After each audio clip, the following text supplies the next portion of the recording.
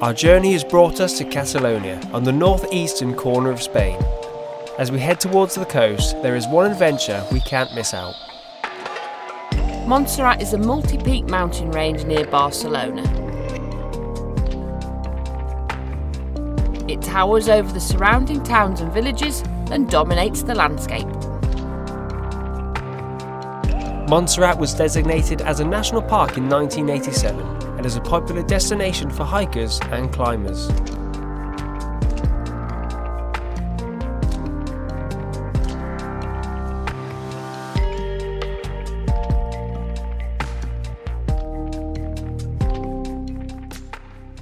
Last time you saw us, we were at Alquézar, and since then we have done a little bit of exploring in the local area. We stayed a few nights at Viacamp and climbed the tower. And we went to explore the town of Montana, and now we have crossed over into Catalonia. And we are very, very close to Barcelona. About 50 kilometres to be precise. Mm-hmm. Our mission today is to hike to the highest summit of St. Jeroni. So we have packed lunch, we have two bottles of squash. We are ready to spend most of the day, potentially five and a half hours, doing a hike. We'd spent the previous night in Monistrol de Montserrat, in a very basic but free camper stop. It was perfect for leaving Flora for the day and finding the start of the trail. I don't think we'll be staying there tonight. Uh, go and find somewhere a bit more glamorous maybe and uh, make the most of the uh, epic scenery. Even though we've only been here a few days, Spain has been really good for free stops and stuff like that. And yesterday we had our first uh, motorway shower. I've always been a bit skeptical about using those. I think about the uh, whether they work and the cleanliness and stuff. But actually, really, really good and free. You cannot complain. Yeah, they were beautifully clean and really hot. Mm. Uh, it's a shame you didn't find the light switch quick enough, darling, and had a shower in the dark. But uh, you win some, you lose some. So after racing through France a little bit, we've decided to slow down quite a lot and just recoup some money and some time and just chill out a bit. Fortunately, the diesel's a lot cheaper in Spain than it was in France. That's going to help us recoup some money. And we're just going to take like two or three days in each spot if we can and just really soak it up. How you feeling? Energised. it's a lovely walk. Yeah. Um, not particularly straightforward, so it's a little bit different and you have to concentrate and it's not too busy. We've only seen two, three people. Yeah. One coming down, two going up. So there's a cable car, a funicular, and potentially a train as well that goes part way up to the monastery. I don't know if I need this turtleneck on, I'm not gonna lie.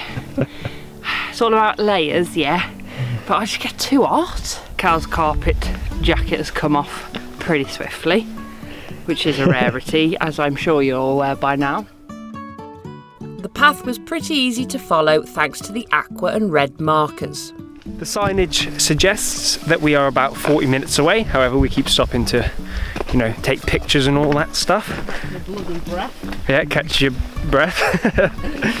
but one thing we've noticed is that these uh, Spanish hikes do not mess about. There's some seriously steep climbs, narrow paths, sheer drops. Don't get me wrong, it's exciting, but wow. Proper adventuring, aren't we, Maggie? Done three different hikes now that have all been, I don't know, a bit precarious in places. Yeah, in places. It's fun though, isn't it? Mm. Adds to the adventure.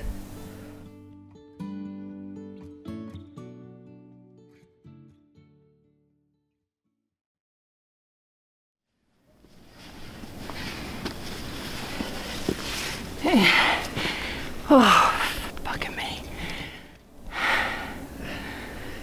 Not far off now, are we? Steep, in it, the last little bit. Yeah, it's going to be a pain in the ass going down on the knees.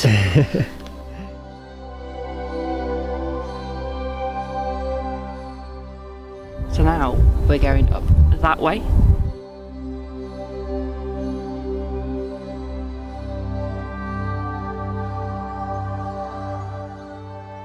This is uh, a kind of crazy. Just a few minutes ago, we were on single track roads, fumbling around on loose rocks.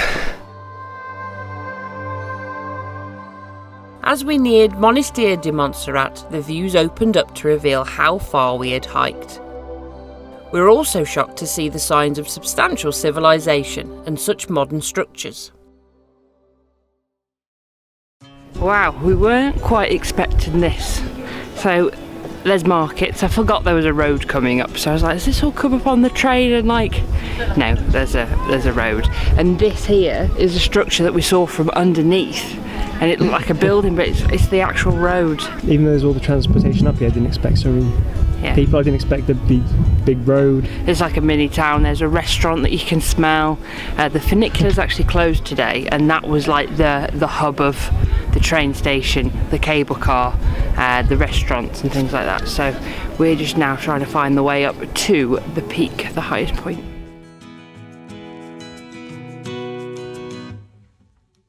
We strolled through the hustle and bustle, admiring the architecture and monuments.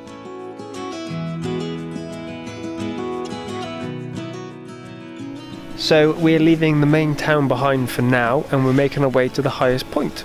Of Saint Jeroni, it is 1,246. and 46, something 36. that. and it is getting really cold. My nose, all the layers are back on. Actually, not the turtleneck, but that was just effort, and it could take a little while. We're hoping not too long. It's going to probably take us over an hour. It's safe to say we were pretty optimistic at this point. If you look behind us, it's just all steps, which makes it more direct, I guess, but it's quite hard going. Isn't it? I'm looking forward to my soup and my really nice sandwich. Well, we're going to have to get into the sunshine for that, I think. Christ. This is either I'm extra, extra, extra unfit, but I'm having flashbacks from Ben Nevis. So I hope that we're no further than about 30, 20, 30 minutes away from our final destination. And this path is uh, very changeable. We've gone from the like man-made concrete steps that really steep to like this quite thick wood, which is a, a lot more easy to navigate and meander through. We've got a mile to go, and we've just seen some American people, and they've said that the worst bit is the last bit, but it's well worth it. but I might crack open the coffee before we get there, so I've got a little bit more pep in my step.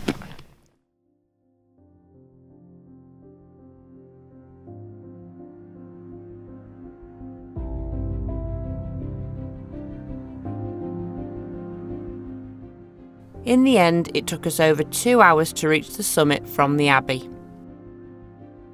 It was hard work, but the varied track provided a great distraction.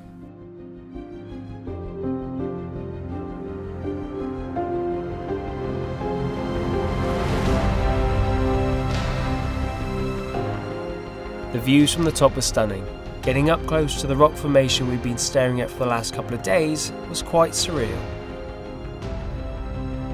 Making it to the summit of St. Jeroni gave us 360 views as far as the eye could see.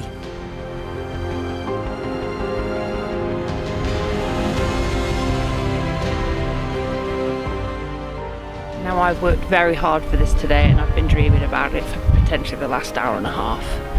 Epic lunch spot, Espana version.